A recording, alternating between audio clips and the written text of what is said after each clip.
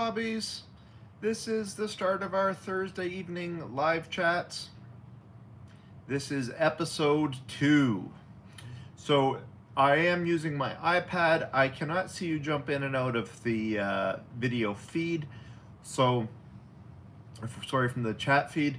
So if uh, you come in, I uh, uh, can tell that you're coming in when you start messaging me. We're going to be covering details all about basing tonight, so uh, be sure to participate. If you have any questions, just ask me and uh, I'll give you some feedback. Oh, people are starting to jump in. Hello there, how you doing? So, tonight we, oh, lack of foresight, great. Awesome. Um, I made some changes to the lighting. It was a little harsh last week. I do see that I've got a fair bit of light here on my face. Let me just rearrange some of the lighting right in here. A little less direct. That's maybe a little bit better. So tonight we're going to talk all about basing. Um, and uh, we're going to hit a few details. So first thing though, I want to go over uh, what went on last week. So thank you for everybody that uh, came out to the previous uh, live feed. Uh, I've had uh, a lot of views. It's now available in the good. Okay. it's I've had a lot of views, and the live feeds are available in the in with my regular videos on the uh, channel.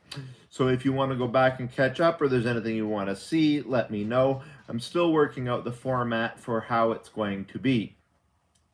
Uh, last week we were discussing uh, terrain in general, so this week I'm going to try to move in with a little bit more of a focused look on methods for basing.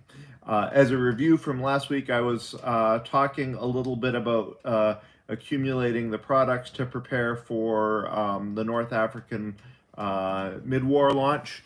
Uh, that's going to come out mid-February. Uh, I'm coming up on my deadlines for getting uh, uh, my materials ready for it for Battlefront.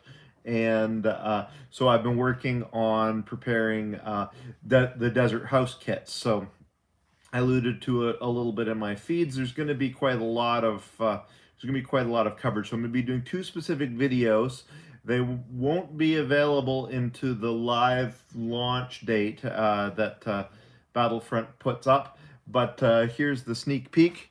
So they sent me, they they sent me the desert houses, um, the large desert house, and then the ruined desert house set.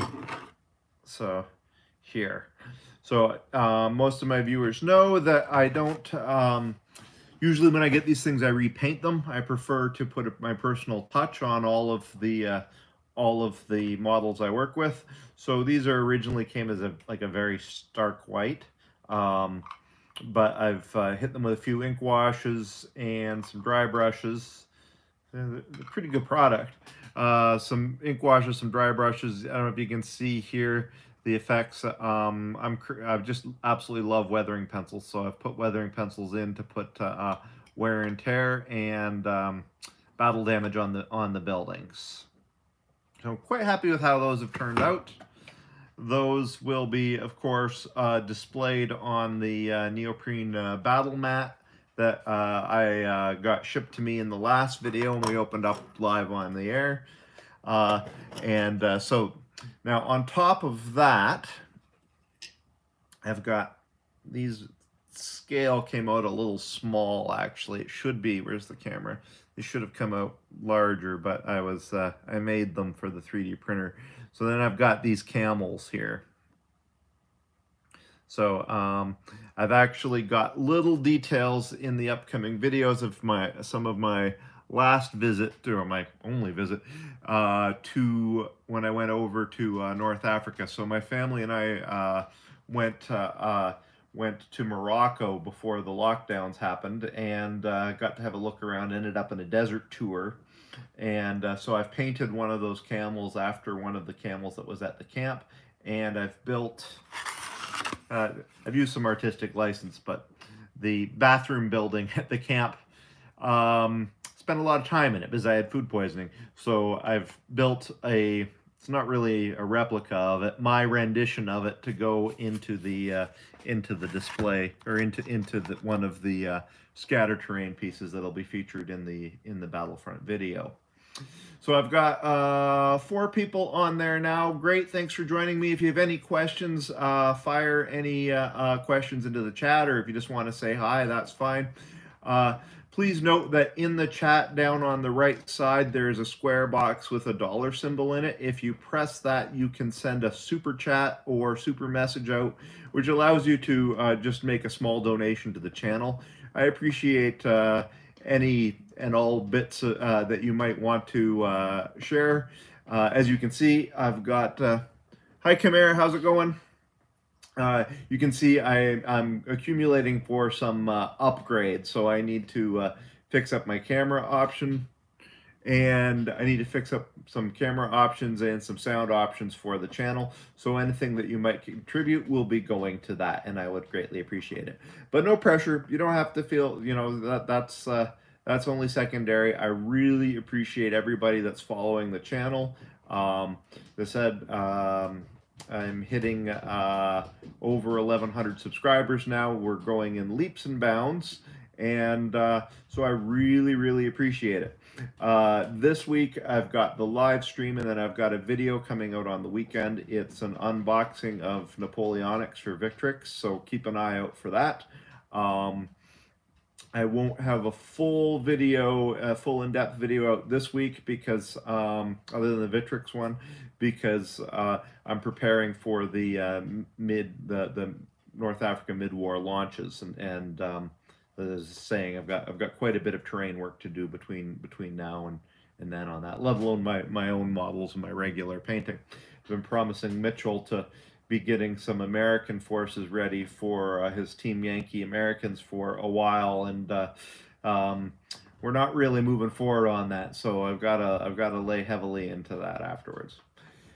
Anyways, on to bases. So there's two real essential types of bases that we encounter in wargaming, and that would be terrain basing and model basing, right? Uh, hey, what do you like to use to seal terrain? I really uh, diluted PVA. Uh, I should add some dishwashing liquid. Uh, yes, so good good question. So the best stuff for um, sealing bases, in my opinion, is here. So PVA white glue, all right, white glue uh, in Canada, is um, really the, be the best option. If you do put some dishwasher liquid in it, it will flow a lot better. So you mix it with some water, you mix it with some dishwasher liquid, and it'll flow a lot better down into the uh, into the pores, so it'll it'll bond. Um, if you can, though, I highly recommend that you do use Mod Podge. All right, so in Canada, this is pretty easy to get. It's in Walmart. Um, I think it's pretty easy to get pretty well anywhere. And it is really just PVA glue, but it's um, a thicker body. And I find it bonds better and it dries a lot faster. We're to talk uh, we're to talk some more about that uh, in a few minutes because there's uh, dishwashing liquid like dish soap is, is fine for breaking the surface tension for getting it to flow, but there's a better mix, and, and um, we'll talk about that. So you've got your two basic types of, of bases. You've got your war games bases and you've got your terrain bases. And obviously, um, in terms of putting basing material on them, the methodology is essentially the same, just larger or smaller surfaces. Oh, no problem. It's larger or, or smaller surfaces. So there's something pretty small, right? Some um, Flames of War Russians. There's something pretty large. And really, what when you're sticking it down, it's it's all just exactly the same process. And um, probably do it live here in a second. But the the the thing to keep in mind is um, when you're doing a terrain base, that you want the terrain base to sort of evoke the um, image of, of of what you're building. So let me just give you an example. So here's a house. Uh, here's a here's a hangar, got like an industrial hanger. This is gonna sit flat on my terrain table. Uh, but notice that the base it's on is completely rectangular. All right, I've, I've actually um, scored um, brick pattern into it or, or um, concrete pattern into it so it matches my uh, my city um, table components, but it's sitting on a rectangle, and a rectangle is well for a building, right? It doesn't look great when you take a this is this is a very simple thing, but th something I've seen people miss. It doesn't look great when you've got an intact structure sitting on an organically shaped base. Okay. So the same, however, goes for um, ruined or naturalized things. So if you take a something that's supposed to be part of the environment and you put it on a rectangular base, I should have brought an example over, but uh, I didn't. I've got a um, I've got a um, graveyard that I made that's on a perfectly rectangular base, but it's overgrown. It doesn't really have the soft edge to blend with to blend with nature around it, and it just doesn't look quite right so here's a crash glider I made um, a while back, but notice the main feature of this base is obviously that the glider is in nature, okay? So it's got the ruts carved up the mud, there's plenty of rocks and other, other things around. And if this was on a perfectly square base, it would not look right. So natural environment, you want a um, organically shaped base, man-made environment, you want a rectangular base, okay? Like that. So pretty simple, but it really does go a long way to help you um, make your terrain look better. It somehow just looks wrong if you don't have the right base shape for the occasion. All right, now talking about bases themselves for terrain, I'm, as I said last week, I'm, I'm old right? I I started um, building models uh, terrain when I was 10 or 12, uh, reading White Dwarf articles back when there really wasn't much of a, a, a model building or terrain building scene, and before this stuff was often regarded as art. Uh, which it definitely is. But uh, back then we didn't have a lot of options for basing. So these days you can get you can get mason pre-cut masonite and you can get uh, pre-cut plastic bases or vinyl bases to put your models on where the edges are all nicely beveled. They're not terribly common in Canada, um, or well, really, I've never I've never seen the um, the vinyl ones. I've seen the I've seen the masonite ones, but I just go with the old-fashioned cardboard method. The trick to the cardboard method is like when you cut out your base, and this is something I explain a lot in my videos, but it's very important. And then usually in my videos, I've got to go fairly quick so I don't get into the specifics. But so say I'm say this is um, a, a, piece of terrain is going to go on top of this, and um, just imagine the whole thing is covered with with cardboard at the moment, with the cardboard paper at the moment. But say a piece of terrain is going to go on top of this. If I put my Mod Podge, my glue, if I soak, soak this with um, the rubbing alcohol method, as it dries, it, the whole thing is going to flex, right? And then you're going to get you're going to get it to curl as, as, as the glue dries, everything contracts. And so one um, piece of, of um, cardboard on its own isn't a great option for forming a base, even though it's effectively free and it's really easy to work with. However, once you add a second layer of cardboard to it, then you get a lot more strength. The trick is not putting the cardboard, so see how I've peeled the, I've intentionally peeled the paper back on this so that you can see there's the corrugation there and there. So see how they're running um, in line with each other that way? All right, if I glued this down and then applied my terrain, uh, applied my glue to that, it's all going to flex and it's it's going to uh, it, it's going to warp. You can maybe bend it back gently if you want, but the best thing you can do is, and just to to fix that, is so see how I'm going to run that grain up and down. I'm going to run that grain sideways. So now I've got the grains crossed and they're they're at a right angle to each other. Go in, super glue that onto there, and you're good. All right. That is a lot stronger this way and it will not warp. If it does, it's just going to warp a minor bit and you'll be able to, uh, to stretch it back.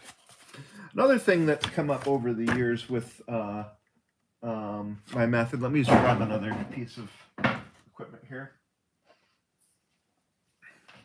There's a lot of people when they build their terrain, they're going to take their they're going to take their uh, layers, they're going to glue them together, and then um, they're either going to just leave it with the ends of the cardboard exposed, which you don't want to do, uh, for a couple reasons. One, that the moisture will get in there and it will help. Uh, it will help it like it'll make it warp. Um, so you want to avoid that. And then the other thing is that uh, well, it looks ugly to have the exposed cardboard.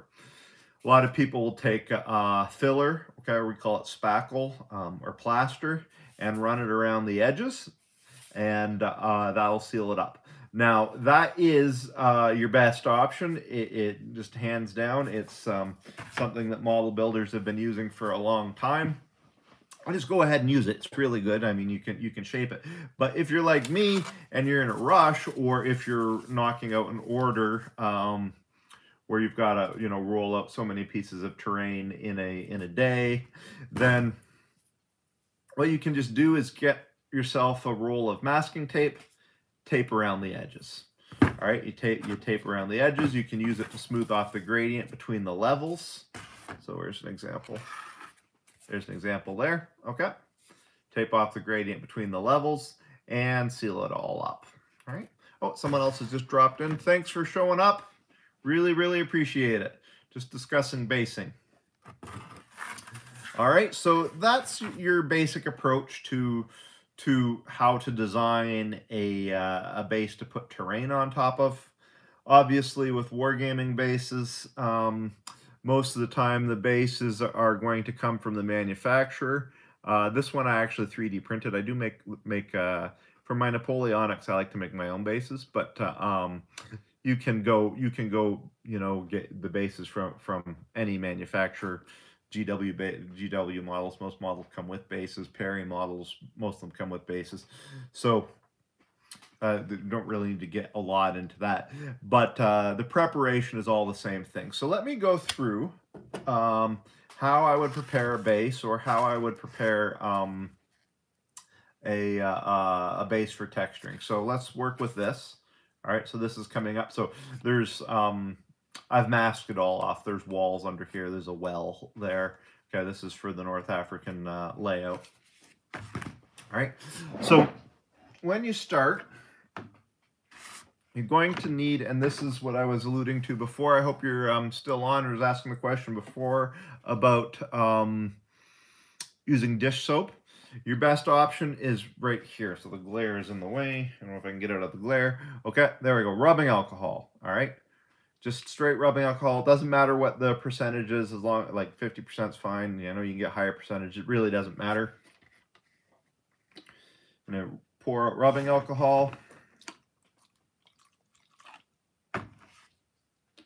That's probably more than I'll ever need for this. And the thing when you're building your base is that um, you might as well prime as you go. So a lot of people will glue their grit down or glue their content down on their base and then they'll prime it. You don't need to do that. You can you can prime as you go. So here's just some uh, this isn't perfect, but this is the only brown ink I have at the moment. So that's antelope brown ink. Good enough. Okay acrylic ink, mind you. Use acrylics. Acrylics, when they dry, they have an adhesive property. You wouldn't you wouldn't um, use enamels to do this. So then I go in, mix it in, grab a pipette. Mm, that's not a great color, is it? But anyways, so that's just straight rubbing alcohol now with acrylic ink mixed into it. So we're going to hang on to that. And we're going to go to the Mod Podge. All right, so Mod Podge dries better than um, white glue. It dries faster, in my opinion, um, and it also bonds better. In fact, it bonds so well I can't get the lid off this at the moment. If I was smart, I would have uh, opened that before the uh, before the video. But anyways, here we go. More Mod Podge. And you can use Mod Podge Gloss. You can use Mod Podge Matte. Um, Mod Podge Mod Podge uh, Gloss uh, makes very convincing water if you want to uh, avoid having to use resin. It's not as good as resin, but um, if you're doing like a, a, shallow body of water and you want to do it quick, then by, all means, just go ahead and use um, use Mod Podge gloss. I always keep a lot of it on hand if I'm going to be doing a, I'm going to do a feature like that, water feature. Okay, so now I've poured out my Mod Podge. I'm going to hit it with some water. Still want it fairly thick right now. And then I'm going to hit it with some brown paint. So this lets me texture the uh, this lets me texture the adhesive ahead of time. Again, it's got to be acrylic. Okay, you can't use enamels for this. You have to. It has to be water-based acrylic, and uh, um, you can mix it as dark as you want. If I'm if I'm um, preparing it if I'm preparing most types of terrain, I'll, I'll usually just lay down black to function as a, a primer. But in this case, this is going to become desert terrain, so I'm using a, a sort of a mid-tone brown. All right. And if I'm not, you know, I, I don't know what I'm going to get. So 30 some years as a model painter. I mean, I've been painting, been preparing models since since I was, you know, in, in 10 or 12 years old, or terrain since I was 10 or 12 years old. I've built terrain for um, um, international features and and and uh, uh, gaming companies and stuff. And I've never actually ever built a desert terrain before ever. So I don't know how I, I managed to miss that. But anyways, so now grabbing the Mod Podge while it's fairly thick, I just start spreading it on. All right, spread it on. Now I've got this masked so, because uh, I've pre-painted all the walls. Um, sometimes Sometimes I won't pre-paint uh, the terrain. I'll just paint it all in place. Uh, there's a fairly complex um, series of colors on these walls, rock patterns, and they would be um, probably used for close-up photography. So I, I, I, I painted them separately. Now, here is, I like to make rocks out of styrofoam. That's just a little cut off chunk, extra chunk of styrofoam. You can put your uh, Mod Podge and your, your base coat right over that. In fact, if you intend to prime with, if you intend to prime using um, spray paint, you have to paint over your um, styrofoam effects because the propellant and spray paint will dissolve. I don't know if you guys have ever done it. I certainly have. I've ruined more things than I care to admit. Um, the propellant in your in your um, spray paint will dissolve the foam. You can also do it certain um, certain spray paints if you're not careful when you're when you're pla uh, basing plastic models will also corrode the models. Don't do that. Always get a piece of sprue out if you're uncertain. Always get a piece of sprue out because I mean obviously the sprue is made of the same stuff as the rest of the model. Get a piece of the sprue out ahead of time and test it. Uh, test the spray paint on it, see if you um, melt it into a pile of goo. I killed, uh, nearly killed an entire box of uh, Tyranid Hormagaunts back in the day by uh, by using a spray paint without testing it first, and they lost all their definition. Uh, they actually made pretty good terrain because they look like like really gnarly alien melted alien bodies on the terrain. But you probably would rather use them for gaming, so don't do that. So I'm just, so I got a fairly good coat of uh, my tinted Mod Podge on here now. All right, there like that. And now I can texture. So, um, just trying, should have put a handle on this. Maybe I can do the whole thing. So again, if you have any questions as we're going, let me know. And the previous questions about basing um, coming along here. All right, so now Texture. Look, you can texture with whatever you like, all right? Lots of people have different ideas. I'll use sandbox sand.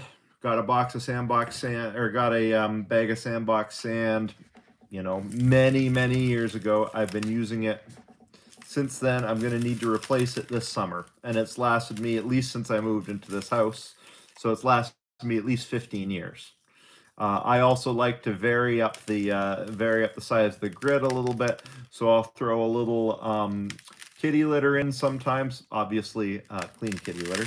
Um, either uh, it's kind of funny. We talked about it briefly last week, but clumping kitty litter actually works pretty uh, pretty well. When it gets um, damp, it forms really nifty organic shapes. So it's probably not um, ideal for just regular, um, just like regular um, scenery. But if you want to have like a really uh, alien look to it, then then it's it's a pretty neat idea. So here we go. I'm just got to touch up a couple edges. You can always come back to it. All right, so uh, there's my grit. So my grit is on, all right? So now the question before about, oop, I missed a spot. Question before about dish soap. Um, dish soap is great. Uh, can almost guarantee nothing living in it. Not a fan of having to, yeah, exactly. Yeah, you don't want to dry things out in your in your um, oven before you before you lay it on.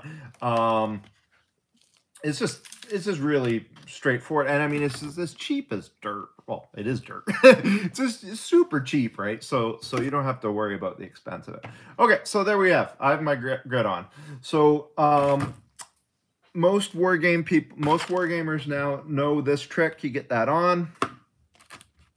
Get that on. You then go and get some um you dump off the excess. You go and get some white glue, you water down the white glue, and then you um, maybe put a little bit of dish soap on it and you go put it in. That's fine. Okay, that's going to work. Oh, thank you. Someone else has joined in. So for those of you who've just come in, we're discussing basing tonight. This is our second uh, live stream for Miniature Landscape Hobbies. Excuse me. We're talking about model basing for uh, dioramas, and wargaming. So I'm just doing, uh, showing my method for model basing here as we go. All right, so now I've got the grit on. So normally you'd water down the white glue. Oh, hi gun barrel, how goes it? Um, you'd water down the white glue and you'd put it on. But um, I learned this looking at the uh, model train community. They have a better way to do it. So this takes us back to this. Okay, so that's our rubbing alcohol with our brown ink in it. All right. I now go back to my original horrible concoction of um, Mod Podge, and I'm going to really heavily, heavily water it down. So I'm going to get it down there so it's at least 80% water. All right, at least 80% water, so it flows. We want it, we want it to flow fairly easily from the pipette. Okay, pipette's an easy way to apply it and then we're our straight rubbing alcohol with ink in it. All right, so I need more hands than I have to show you guys this because my camera angle doesn't get down there. But here we go. All right, grab uh, grab a, um, a load of my rubbing alcohol, and now while the paint is wet below the grit, I just start layering the rubbing alcohol on. And it's not held flat, so it's hard to see. But what's going to happen is the rubbing alcohol will spread very quickly under the, uh, will spread very quickly under the grit, all right? And that will help the, uh, as it dries, that will draw the uh, glue up into the grit from below, all right? So that it helps form a better bond. And then on top of that, with my watered down stuff, I can now just layer that on top, okay? Um, and it will be diffused through there using the uh, it'll be diffused through there using the rubbing alcohol and then that is how you get your um, that's how you get like that really really good bond that you know like you can chuck dice at this and it will never it will never break um, it's really really hard to peel a, uh, any of it off so i know I bought some used models. Um, Jesus, uh, bought some used Flames of War models. Um, just just when the lockdown started, I wanted to do some British. I bought them from a really nice dude, and uh, the problem was that when when the glue had been when the he had already flocked or textured the bases. This is, so this is the soft and delicate. um, so when, when he had textured the bases, I guess he hadn't really used much more than just throwing sand on top of white glue. And when I was when I was painting them, it all just come off in flakes. and then I had to rebond them. Yeah, until it bonds, it's damp with glue and alcohol. Yeah. So I'm almost done this. It's a quick process. It's a good process. And then, like I uh, like I said, um, I think Mod Podge just dries faster. So this will get soaked pretty heavily, but by uh, by tomorrow morning, it will be as dry as can be and ready to go.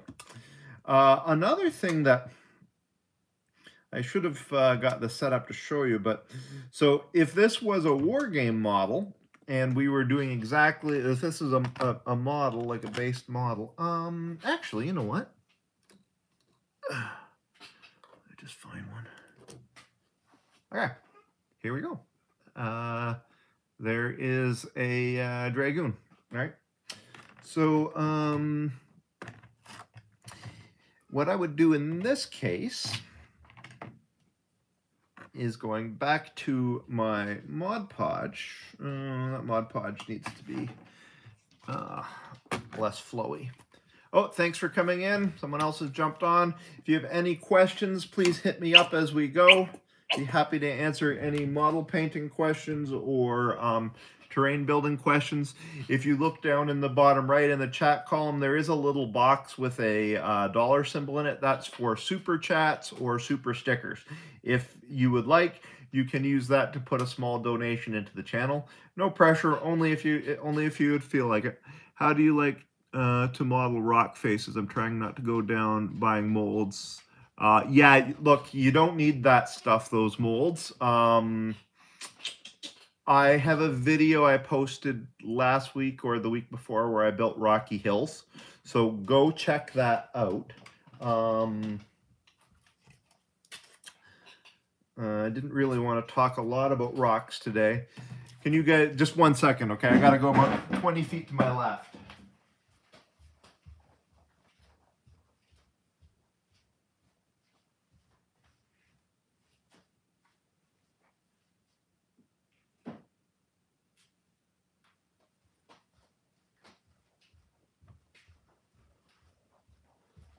All right. So nothing beats plaster, honestly, for making rock. So you go get the Woodland Scenics rock molds and you can make that. Um, if you want to do the... uh, yeah, check it out. You'll you'll you'll see exactly what um, what you're asking for. But uh, basically, I built this. So nothing beats plaster all right it creates the most realistic rock texture it's also pretty hard to work with especially for wargaming it will chip so if you're pouring, um, if you're pouring plaster to make um, War Games terrain, don't um, the, don't don't just pour it straight. Tint it first with the base color, so that if it does chip, like you hit it with some dice or something, it chips. That you just don't see gaudy white coming through. That you see you see some of the base color coming through. But um, I, I I would generally say that you've got two better options for building rocks for like quick scatter terrain or for um, things that don't need a, a lot of um, really a lot of detail. Well, detail. I mean, you get really good detail, but um, that maybe just not quite the rocky texture. And uh, one thing is tree bark is like if you go get some some tree bark with um, really deep grain to it. Um, uh, paint it black, dry brush it gray. It's wicked. It looks just very, very realistic, and I mean, it's free. Uh, the other thing is, of course, insulation foam. So insulation foam is the is the model painter's best friend, right? That guy. Okay. So that's half inch. I usually buy a half inch. This is 11 bucks in Canada. Get eight foot slabs of it. Um, a slab or two will last me a year. Um, and then you cut it up into chunks with a sharp craft knife and just glue it on. All right. Um, glue it on, coat it with Mod Podge, just like I showed you with, with the uh, base color. So in this case, of course, I would have used a black because I'm highlighting up to gray. Coat it with Mod Podge, and then um, that will give it some nice texture. A trick you can do as well is if um, you really want to get a lot of deeper um, uh, stone grain texture. And this is this is coming up in my in a future video, but here I've worked a little bit of rock texture into it. And what you do is you grab a piece of tinfoil, roll it up into a ball, and then roll it back and forth on the uh, on the foam. And then what that will do is um, transfer some texture onto the foam. Um, sorry, I just go out of frame for a second.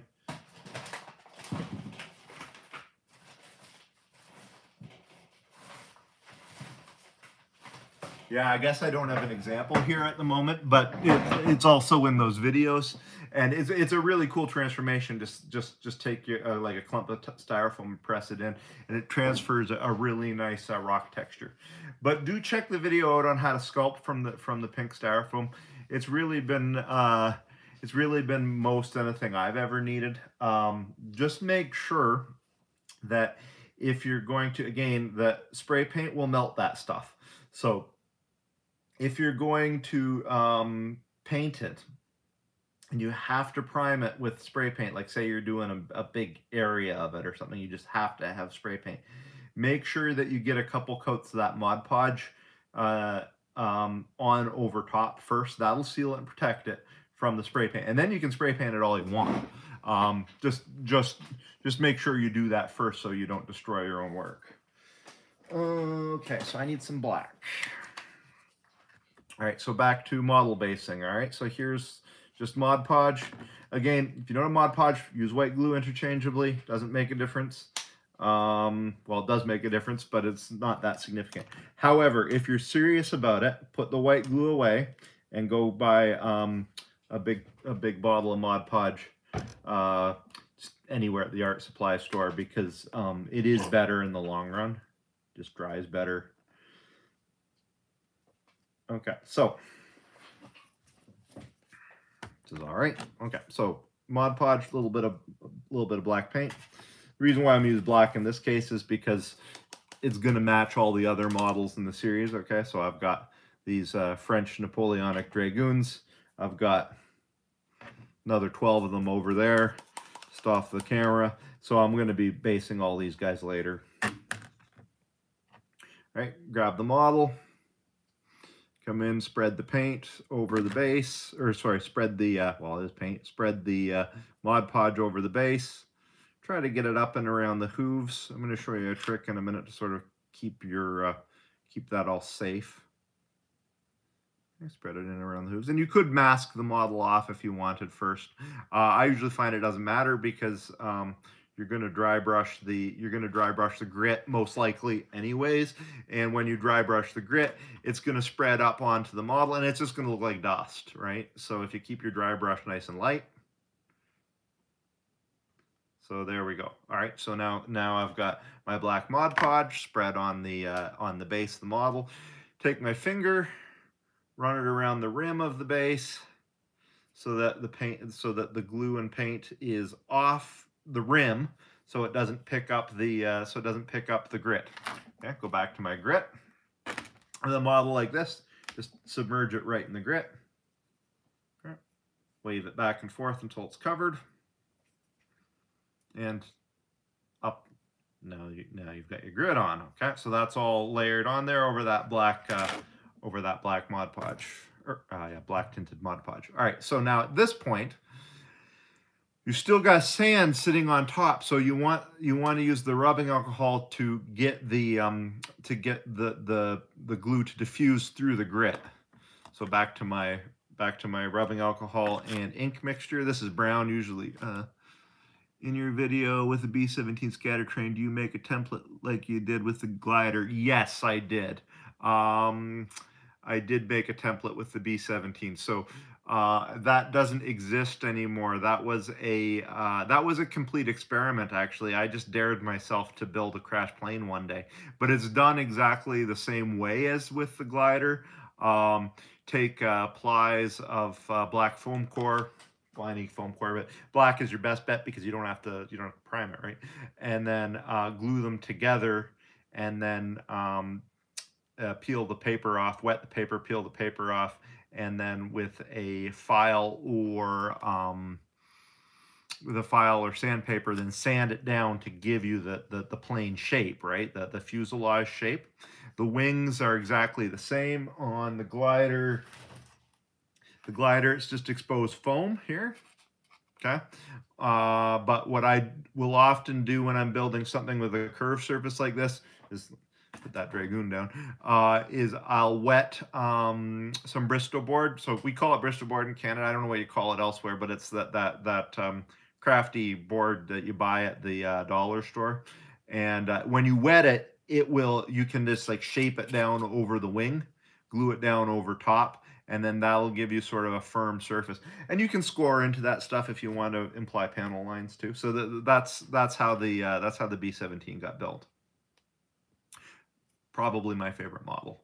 Um, there's uh, we'll do a deep deeper dive on that build actually in the future because um, I use car body mesh in it too to form like the the the, the shapes of the canopy and stuff and and it's um it's a really neat, it's an it's an old effect. It's something that that that people have been doing for years but it, I thought it worked out pretty well. You're welcome.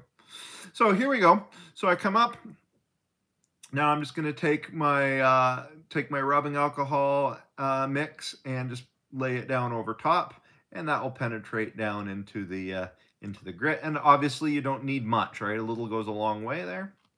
Thanks for coming in. Really appreciate it. Um, see some people have jumped in and out.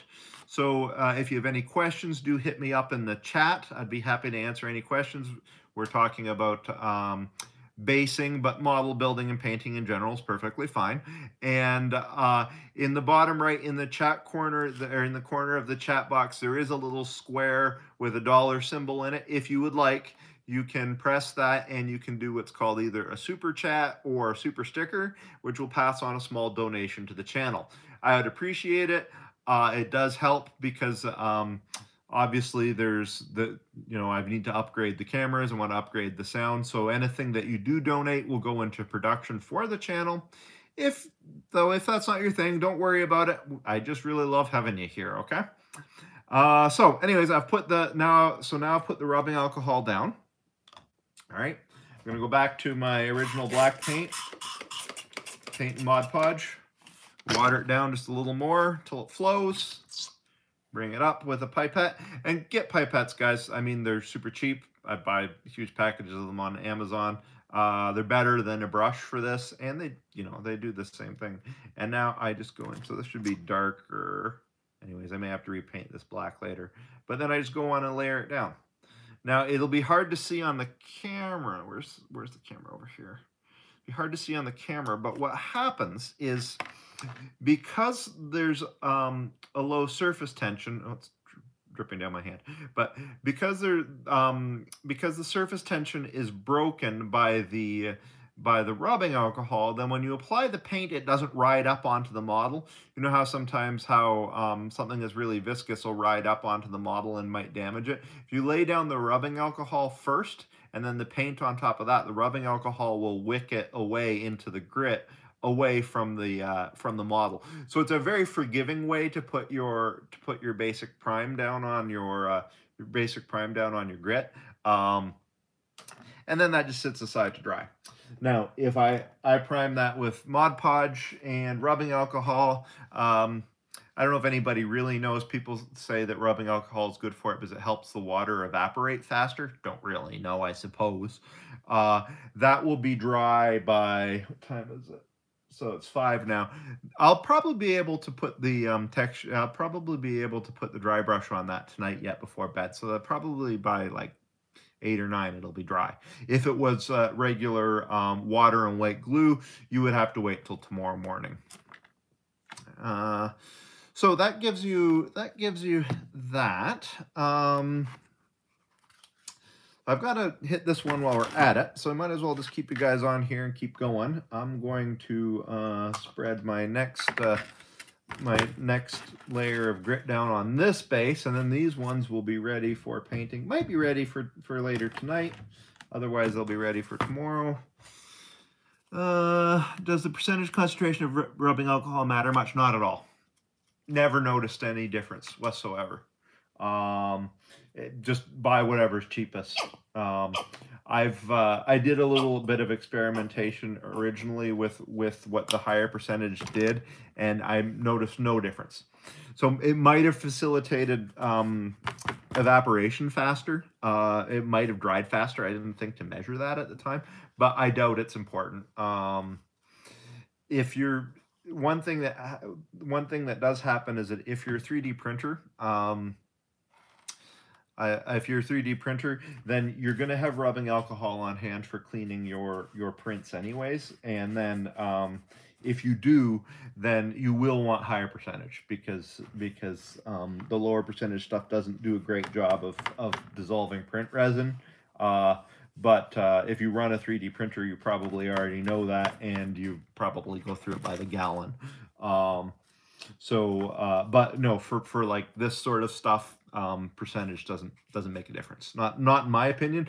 Inter if if you ever you know if you come up with an opinion on it though, let me know because uh, because it's probably worth um, probably do, worth doing a little bit of, of thinking about. Like if it facilitates a faster drying time, then um, then that might be really good to know, especially during uh, production season. So um, coming up in well more or less my area in March. Usually I'm away uh, usually I'm away on March break with my family, but because of the lockdowns, I'm not going anywhere this year. So the first time in a million years, I'm able to get to um, really the only war game show that's that's that's in our area, provided that uh, provided that the the lockdowns don't shut it down, right? And that's um, Hot Lead, which is in Stratford, which is a couple hours from here. Uh, the guys from Canadian War Game Podcast are putting it on. I'm actually looking forward to it this year. I'm on their podcast. Uh, I'm, I'm being interviewed for the podcast next Wednesday night, I think. And I want to talk to a little bit more about, about the convention. I used to go to the conventions all the time when I was with Games Workshop, and I and I loved it. And it's the honestly, it's like the only thing, like the only thing I miss about GW is going to the conventions. Uh, yeah, hot lead. Yeah, try to try to get there, Jacob. Um, I've never been. I've never been. Don Perrin um, was telling me about it. I don't know if you know Don. Um, he was telling me about it, and then I was like, "Oh yeah, I mean, I'm stupid. I need to go." So the thing about that is that if I go miniature landscape hobbies, I'll be running some games. Uh, I'll be running some games. I'll probably also uh, bring my Etsy store with me. So I'm going to need to build a lot of terrain between now and then. Uh, so anything to give to give the uh, to give uh, uptick in terms of speed, like whether or not that higher percentage of alcohol or anything makes a big difference, would be would be good to know before that because I I have a vision that um like when the North Africa details are done I'll be done my portion of the North, uh, preparing for the North African release, um, probably Monday or Tuesday when these when these pieces of terrain are done, and then I'm on to the next thing. I was thinking what I'd probably do is do a series of videos. I've never been myself. Rob Sure Sherwing has been. Yeah, well, maybe get a see if you can this year. I don't know if you'll be able to. Um, I, I'm 90%. I mean, 90% sure I'm going this year. I'm really looking forward to it because, uh, as I said, I haven't been to a gaming convention since uh, GW Canada was a thing, and that was that was a long time ago. Um, yeah, so I'm go going there, and I guess I'll fire up my Etsy store. I've not had a lot of activity on the store last few uh, last few weeks. I'm always at one of those points where I'm like Am I going to keep it? Am I not going to keep it? And then just as I'm thinking, maybe I'll just back down from Etsy and only take terrain commissions uh, when I when I want. Um, but then I sell a whole bunch. So so I think I'm going to have to produce a whole bunch of, um, you know, hills, woods, all the regular sellers uh, for at a fairly high pace uh, coming into hot lead this year. give me a give me a reason to get off my butt and, and, and build some more terrain. So I've been uh, trying to uh, stay motivated getting Napoleonics ready because Mitch, my youngest son, who, who also is a war gamer, uh, has been wanting to play Napoleonics. Jacob, we were talking about Napoleonics on your live cast earlier today, but you're playing the 15 millimeter version.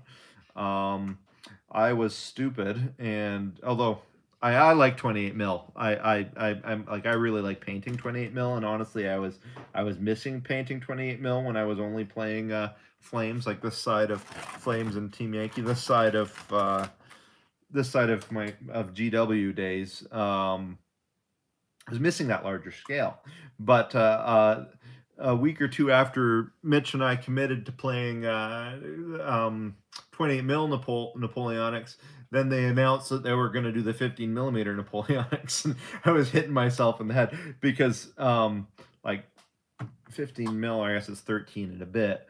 Uh, 13 and a bit would match all my existing terrain, right? Like my, you know, there's 14 feet of um, 14 feet of adjustable table spread over there, but 30 feet to my left, and it's all rendered in one 100 and fit roughly 15 mil.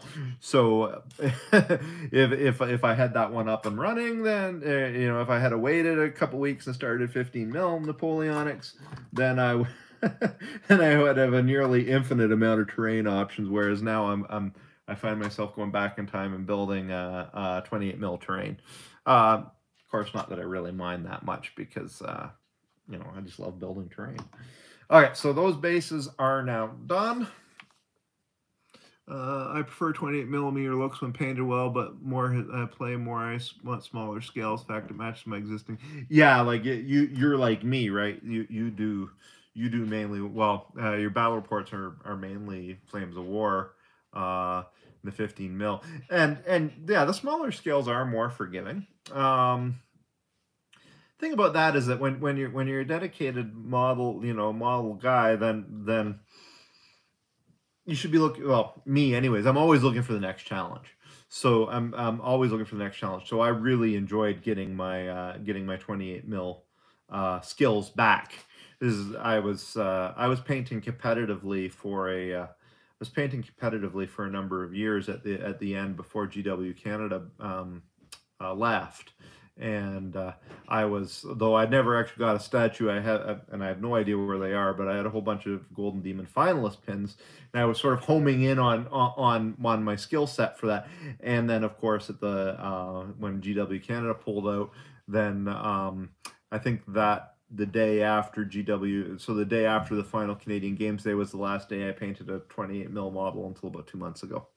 So uh, that was just that was just the end of it. In fact, that I did probably didn't paint another model for 10 or 12 years after that. Would be cool to see some of your G, uh, painted GW models.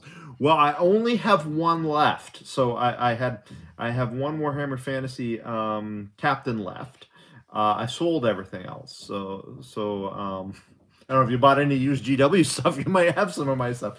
I sold I sold a lot of it. Um, that was an interesting time uh, as I was working uh, at, for GW had a program called the Grey Knights or the Outriders, and uh, basically we were we were volunteers, but they would compensate us with uh, they would compensate us with models and, and, and new releases for going out teaching the hobby, teaching painting, running tournaments, things like that. It was really progressive. It was a lot of fun. There was some about 60 of us.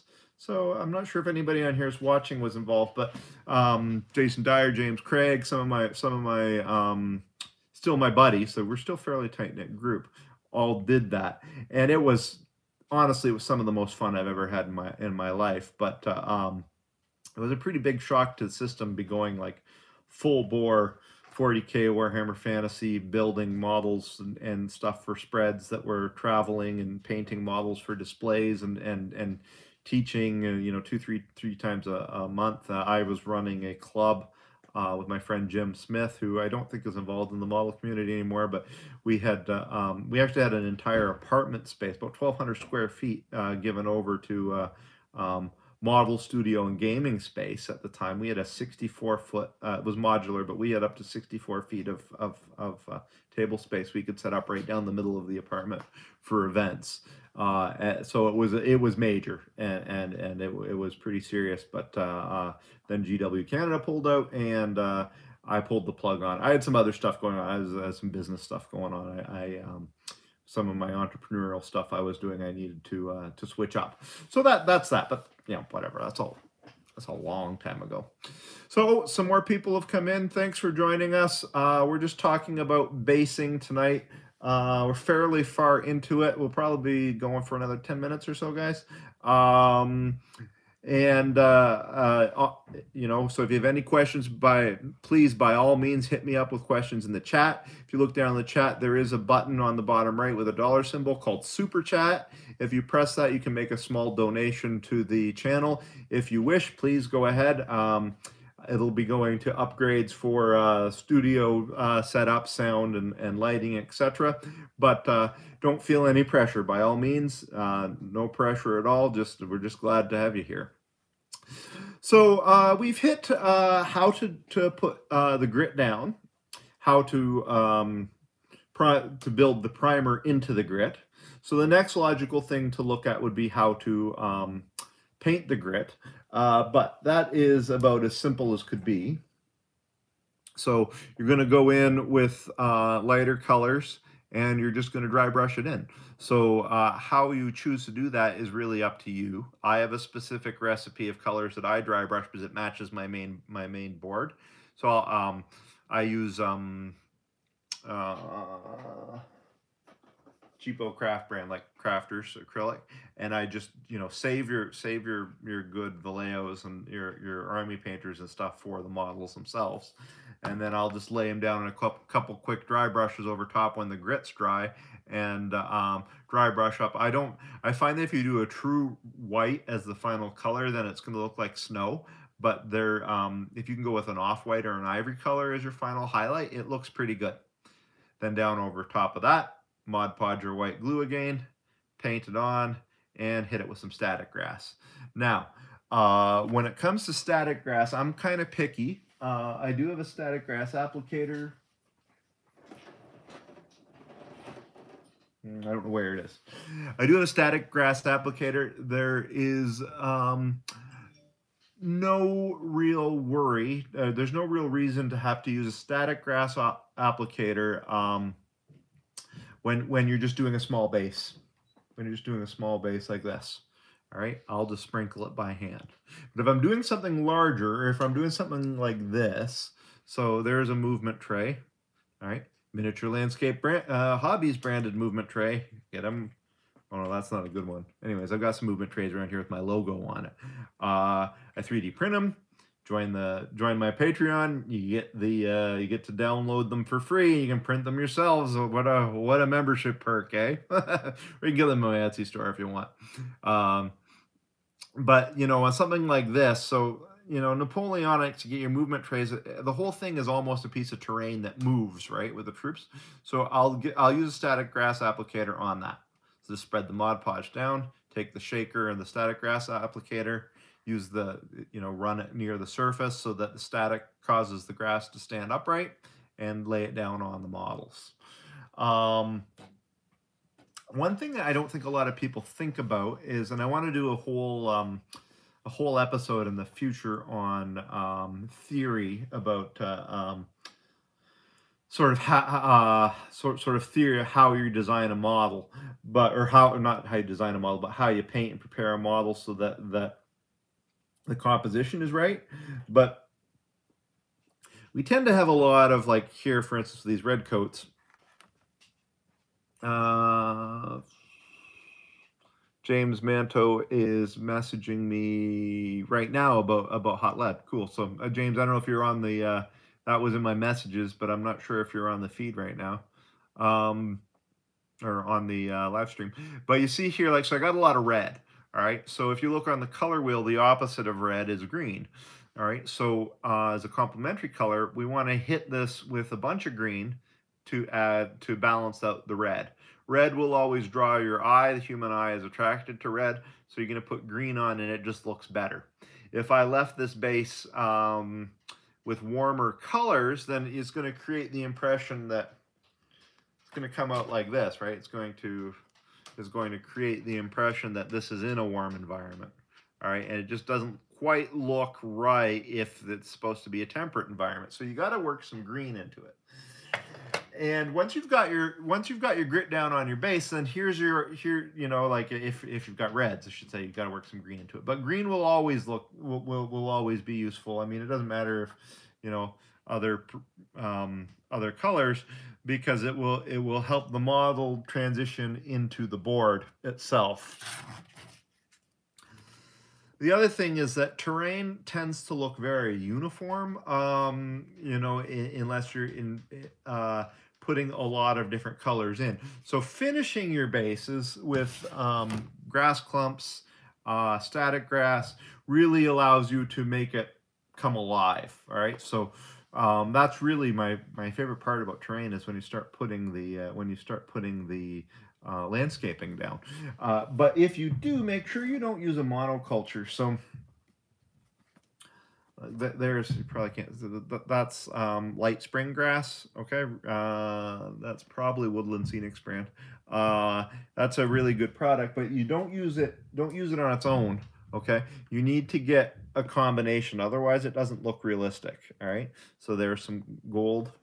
So when you get some when you get some static grass, if you go get like some GW branded stuff or some of this cool uh, um, GF9, I think is, well, I really love the guys at GF9. Uh, uh, they make a really good quality static grass, but get get a couple colors, okay, before you spread that down over top. use the uh, that then then never just use one color of static grass. It just doesn't look right. To go on with that. Okay, you've got the all-important grass clumps. So when one thing I'll do is I'll go out and buy um, large numbers of grass clumps. I don't care what brand it is generally. I mean, there's a couple I like more than others, but um, I'll go out and get uh, as big a variety of grass clumps of different colors as I can. All right, keep lots on hand. And the other thing I do is I'll make my own um, grass tufts with um, there's a product that you can use. There's a couple different ways you can do this. So you can go get some some rough rough twine and make it yourself, or you can get this um, this fine stuff comes in packages from Woodland Scenics and a couple other brands. Okay, you can. There's a few different ways you can do it. I do the do it the the dumb way. I'll run out some hot glue and I'll just massage it into the fibers and I'll take um, some scissors and cut it down. That was the second video I ever released on my channel was how to build that. So if you're curious about that method, go check it out because if you use the twine version, then it's, you know, like you get a spool of 100 feet of twine for 50 cents. I don't know, not much and um, you'll be able to make uh, grass clumps forever. So uh, go check that video. It is one of, it's funny, it's production quality, you know, like I was still learning. It doesn't, it's not my, I'm not proud of that video, but but it is still one of my most popular videos because it is one of the most useful things you can do. You can use. So when you've built that stuff, always build a variety and keep it on hand. So it all goes into here. And in my case, it all goes into here, and then it goes into this cart I don't know if it's in the frame, and rolls around. And I'll always be, so that's just Army Painter. I'm always looking for new options. This is a good product. This is Green Stuff World. I've never seen it before. Two, I got it, um, did I get it? Lords of War, I think, when I was when I was in Oakville last. Um, two two sheets of yellow flowers in here. So usually you'll only get one sheet. So that's a lot. Autumn Tuft. So always keep a good variety of it. It's fun to collect anyways. And uh, don't be shy on it. The more the more you put to the bases, generally the better. Character bases, this French officer here, will generally get a lot. All right, we'll generally get a lot. All right, and then um, regular bases for line troops. Obviously, they don't need... Uh, Hello, how's it going? You're just checking in. Not we're pretty close to the end, but um regular bases like this so so just just line troops are going to get lost in amongst the uh and I know if any um naps guys are out there you're going to give me hell because this guy is a grenadier and he's got blue a blue poof and and and blue um epaulettes, and I know it's wrong. I've got to fix them. But um, she just gets a little treatment of static grass. So um, you don't need to put the, the grass tufts on, on the on the, the commodity models unless you unless you really like. Um, they do look good to put on the they do look good to put on the occasional one. Thanks for joining in there. I see a few new uh, people come in. Really, really appreciate you joining me. We're just uh, discussing uh, uh, basing uh, terrain and models tonight. However, we're just we're getting pretty close to the end. Uh, if you do have any questions, uh, hit me up, uh, and I'll I'll hang in and a- answer a few more questions, and then we'll wrap up in probably about five or ten minutes. Uh, I will be uh trying to keep regular live streams out on Thursday night. Uh I'm a nap guy, just busy painting saddles for Austrian hussars. Awesome. So I'm brand new to Napoleonics. So uh, I've only been at it for a couple months, uh, and I'm loving it. Just absolutely loving it. Um, I'm normally a 1 100 scale modeler, uh, painting World War II and Cold War era stuff. And frankly, uh, I, well, nothing. There's nothing like painting tanks. I just love painting tanks. But um, Napoleonics gives you a chance to flex your muscles and get your other colors out, which is which is awesome. So I just finished these. Uh, I just finished these dragoons. Um, some of them turned out better than others, but uh, um, like he's red, he's green, he's gold. He's got, you know, they got white buttons. And these are colors. These are colors you don't get to. These are colors you don't get to paint painting other other hobbies. So um, so I quite like that part. They're so colorful. Heck, yeah, hopefully you'll be around this time most Thursdays. Yeah, I I that's the plan. That's the plan, Jacob. You know, you get these colors on the the the um, trumpeters and, and the musicians and you know horses are all different colors so it's just i quite like napoleonics that reason because you get to flex your muscles and, and, and try try other colors still learning the game systems um, looking great. Yeah, I want to um, do some tanks at some stage in my life. Well, check out my videos because because I eat, breathe, and sleep tanks. Um, if you do do tanks, if you do do tanks, do yourself a favor. Actually, it probably has some application for Napoleonics too. Um, I'm going. I'm preparing a video for the channel on uh, weathering pencils. Most of you guys have heard me talk about the magic that is AK's weathering pencils. Uh, the problem is that I, I love these things so much that I just I, I I have to do a video that does them that does them justice. This is the best model building tool since the invention of acrylic paint. Um, the, the, they're just the greatest, and and they're they're awesome on tanks. Uh, you don't need pigments. You don't need, um, you know, they're be- they're better than than weathering with uh, with a dry brush of, of acrylics. They're better than they're better than model pigments. Uh, they're just the greatest thing. Anyways, I'm gonna, I'll have a video on that coming up. Hopefully, that's my next major video that I think I'll probably bring out before um, I don't know if I'm going to get it out before the, the before this terrain uh, drops for for the um, for the launch of North Africa, Flames of War North North Africa, but uh, it'll be uh, slightly on the heels of that. So I'll probably start production on that video tomorrow's Friday, probably Monday. Mm-hmm. So guys, um, well, we're up to nine viewers. Thanks for thanks for coming in. We're we're just about to just about to close it out for tonight. I gotta go make dinner for the family. Uh, so that's a quick once over looking at my techniques for basing. Next week we'll come back and uh, we'll do a new video on Thursday. If anybody has any ideas, let me know. Is there anything you guys want me to home in on uh, in terms of skills? Um, I was uh, initially intending to actually build some terrain on camera, but um, my camera arrangement's not not really appropriate for that yet. So so it'll probably be more of just a discussion video, maybe with a little bit of a little bit of um, demonstration. So if you guys have any ideas, uh, either mention it now or hit me through my uh, email or uh, YouTube and uh, let me know what you'd like to see uh, what you'd like to see covered. I hope that some of these uh, ideas that, that we're discussing, some of these things are, are useful for you in your own terrain. Uh, or, or model painting for that matter. Um, so I think that pretty much wraps it up for this week. Thanks for hanging in, guys. Uh, really, really, uh, perhaps some tips and tricks on how to make larger pieces like an Italian mountain. Haven't been able to work up the courage to try myself yet. Well, yes. Uh, yeah, let's discuss that. That would be that would be fine. I know I know you've been talking a little bit about about uh, Jacob about, about tackling some larger terrain, so that's fine. I mean, it would mainly probably be um, foam sculpting. Ah, there we go, foam sculpting. We can do that because there was other questions about that. So let's hit that next week.